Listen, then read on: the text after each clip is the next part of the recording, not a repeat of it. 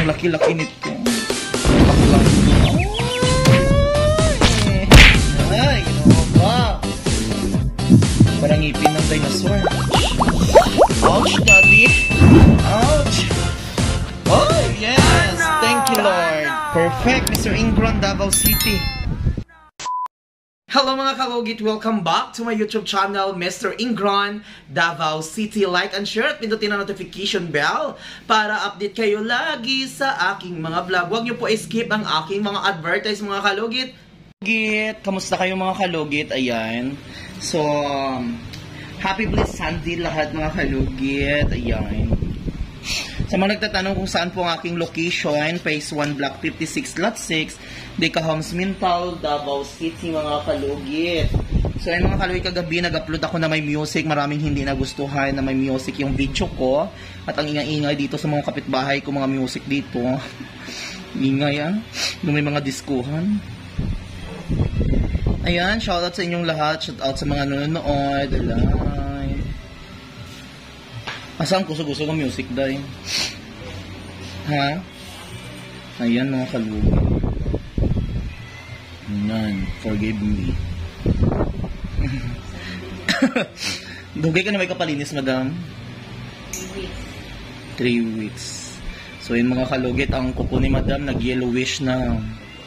Na-trauma na ang kuko ni madam.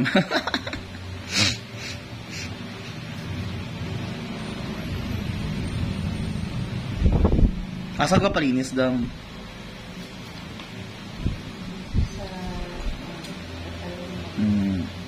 So, subscriber ako ni Madam sa YouTube.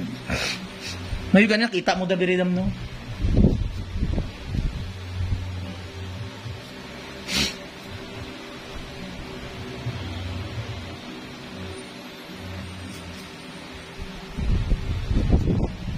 So, ayan mga kalugin, magsa-start na po tayo sa pagkalkal na makal.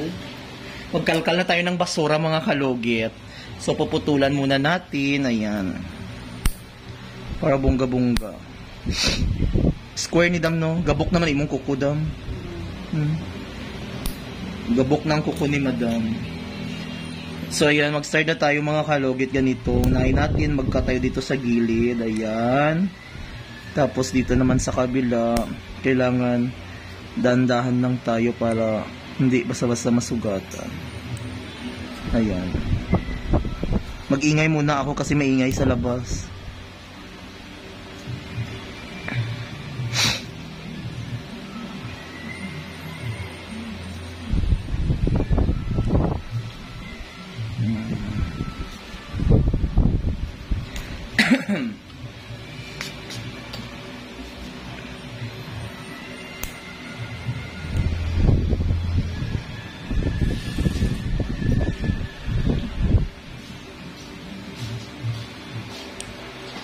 Sobrang tigas ang kuko ni madam. Yung mga dry skin niya, mga kalugit sa gilid.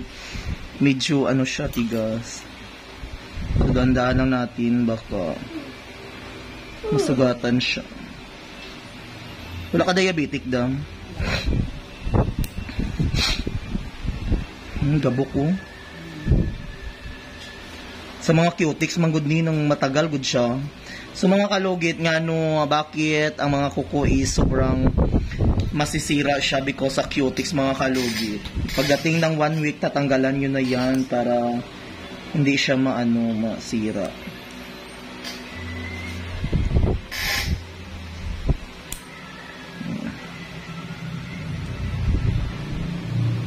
So tomorrow mga kalugit, February, ay pictorial ko tomorrow sa birthday ko. I'm excited for my birthday. So ayan ang kuko ni Madam mo, gabok kayo. Ayan sa Cutex. Gwapa kay si Madam mga kalugit. Murag si ano, Marian Rivera.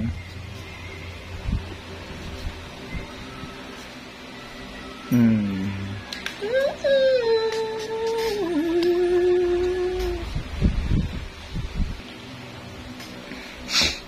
Salamat sa mga uh, nagko-comment mga kalugit na mga concern na uh, nag-post ako na may music yung ano ko kung bagay ba sa ano ko sa sa video ko kung may music ba so nabasa ko yung mga comment nyo, mga suggest nyo kung ano ang dapat gawin.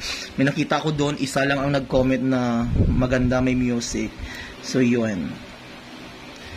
Pipiliin ko yung walang music.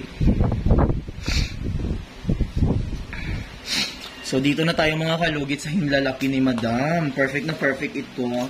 Sobrang dry ang ano niya, yung kuko. So, yun mga kalugit. Mag-start na tayo dito.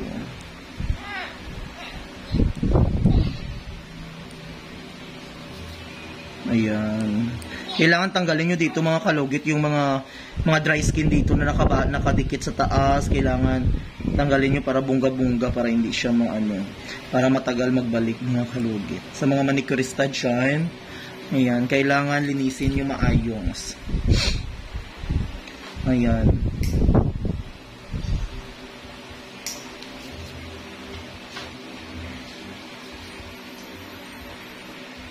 Lagyan mo cutex ni Dam.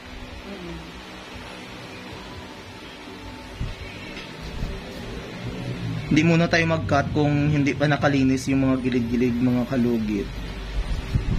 Ganito. So, tapos, after nyo dyan, nag-cut na kayo dito sa, sa gilid. Ay, ito kuko ni Madam O, gabok na siya oh, ng ano na siya, ng ano tawag na, sira na siya mga kalugit because sa nail polish. Original man yan mga kalugit or fake, masisira talaga ang mga kuko sa nail polish mga kalugit. Ayan. Ano guys tawag ang ano Tagalog ang gabok? Brittle. Ha? Brittle? Uh, brittle, murag rebanded. Yan mga kalo. Gabok na siya mga kalugit. Namatay na siya. So ayan, dito na tayo magkata tayo mga kalugit. Ayan. Ayan.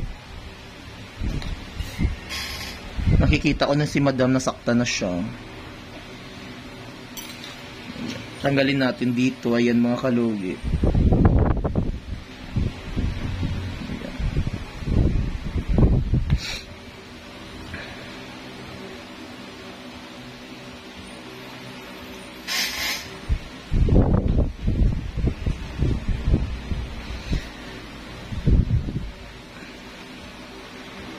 Sa mga ano dyan, sa mga, may mga customer kasi mga kalugit na ang kuko nila parang ganito, hindi siya as in maraming mga ingron, pero sobrang dikit, tapos iwasan nyo na hindi madugo yung ano ng customer.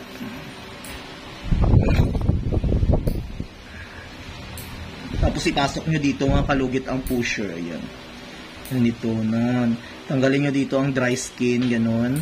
Tapos i-cut nyo dito yung may naiwang dry skin dito, ganon. Ayan, perfect. Tapos, ayan, para matanggal yung dry skin dito. Ayan mga kalugit dito.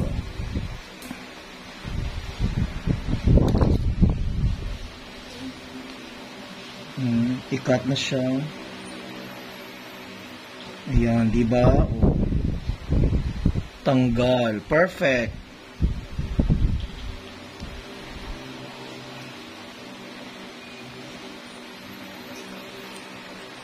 Ayan, di ba? Tanggal siya mga kalugit.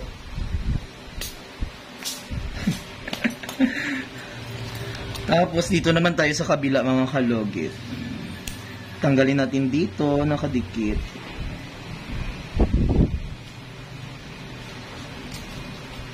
Ayan. Ayan, di ba? Kailangan dahan-dahan lang siya mga kalugit para matanggal yung mga masamang bisyo dito sa mga gilid-gilid. ah, ginawa ko. Ka-perfect ba? Ayan. Sa mga nagko-comment dyan ha, maingay naman. Sinunod ko ba yung utos nyo? Ang ika-anim na utos.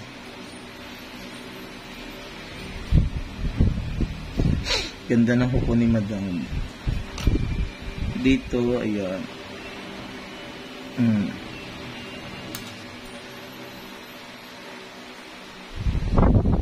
May internet po mo dito sa inyo. Dati wala internet pero no. Wala-wala. Ayan, oh. So, di ba, ang ganda na ng kuko ni Madam. Perfect na perfect yung... Yan. Dahil papilian si Madam Cutix dahil. Ayan, mga kalugit. Magkata tayo.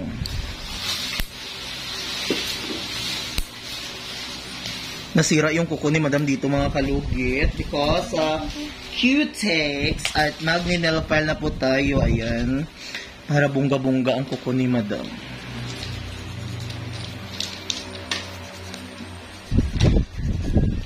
Ayan. So, kailangan natin ganinin. Kasi yung kuko ni Madam is gabok na siya, ng brittle na siya, kumbaga. So,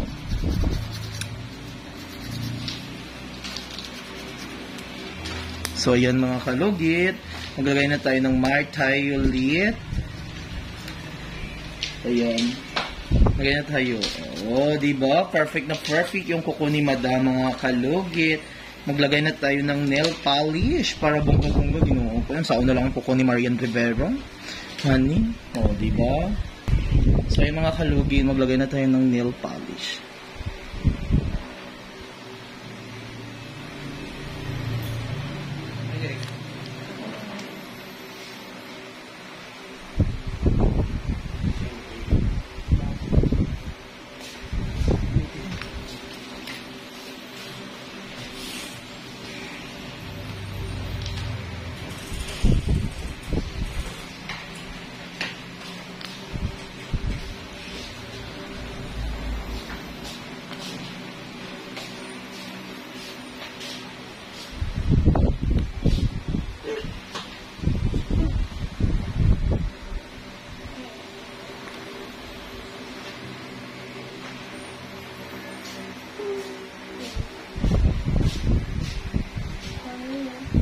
Diba? Perfect na perfect mga kalugit.